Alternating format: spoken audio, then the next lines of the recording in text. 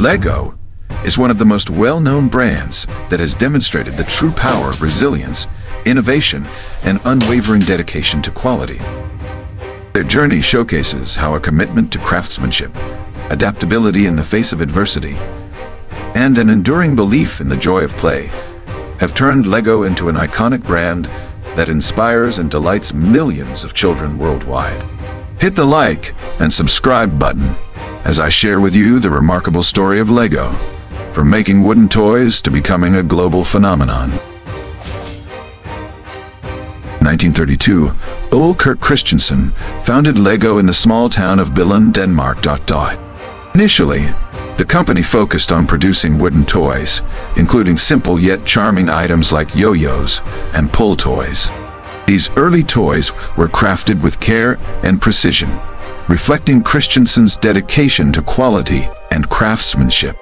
The name Lego is derived from the Danish phrase leg godt, which means play well. A fitting motto for a company that would go on to bring joy to millions of children and adults worldwide.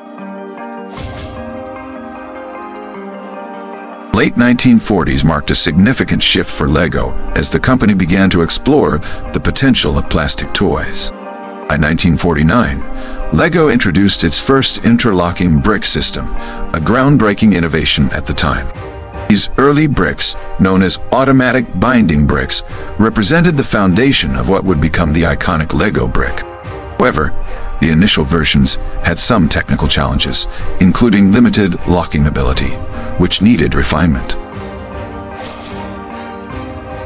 A pivotal moment in LEGO's history came in 1958 when the company patented the stud and tube configuration that we recognize today. This design, featuring small cylindrical studs on top of the bricks and corresponding tubes underneath, greatly improved the stability and versatility of the bricks. The new design ensured that all LEGO pieces could interlock securely, providing endless possibilities for creative building. This innovation set LEGO apart from other toy manufacturers and laid the groundwork for its future success. In 1960, LEGO faced a major setback when a fire destroyed its wooden toy warehouse.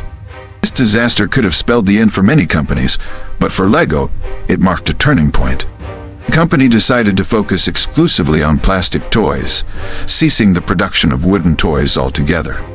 This decision, although difficult, allowed LEGO to channel all its resources and efforts into perfecting its plastic brick system. By the end of that year, LEGO had over 500 employees, all dedicated to creating high-quality plastic toys.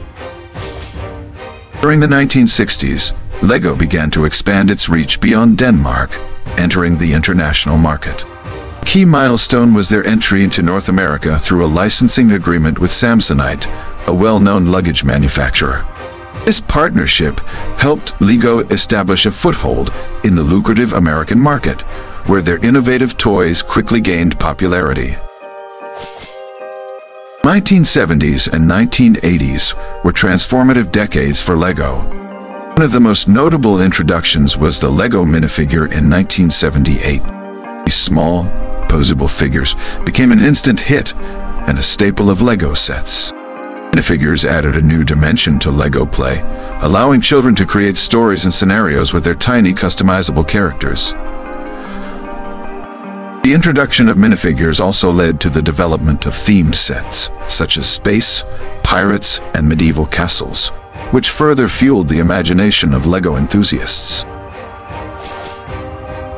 1999, LEGO launched its first licensed theme, based on the Star Wars franchise. Collaboration was a massive success, attracting a new wave of fans and boosting sales significantly. Building on this momentum, LEGO secured other high-profile licenses, including Harry Potter in 2001. These partnerships brought beloved characters and stories to life in brick form, appealing to both children and adult collectors. As part of its turnaround strategy, LEGO also invested heavily in digital marketing and community engagement.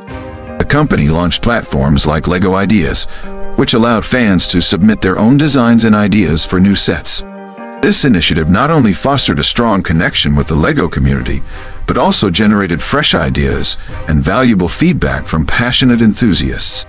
Success of fan-designed sets showcased the power of collaboration and highlighted the creativity of the LEGO fan base. To solidify its global presence, LEGO expanded its retail footprint by opening LEGO stores worldwide. These stores offered an immersive shopping experience, featuring interactive displays and exclusive sets that were not available elsewhere. The retail expansion helped LEGO connect with customers on a more personal level and provided a dedicated space for fans to explore and purchase their favorite products. Additionally, LEGO strengthened its distribution channels through partnerships with major retailers, ensuring that their products were widely available to consumers. Today, LEGO continues to thrive, driven by a commitment to innovation and sustainability. The company invests heavily in research and development to create new and exciting products. The story of LEGO is one of resilience, innovation, and the enduring joy of play. From its humble beginnings in a small Danish town to its status as a global icon, LEGO has touched the lives of millions. As new generations discover the magic of LEGO bricks, the legacy of playing well will continue to inspire and delight for years to come. If you love our contents and would love to enjoy some of our special perks, feel free to join any of our membership levels and explore exclusive privileges.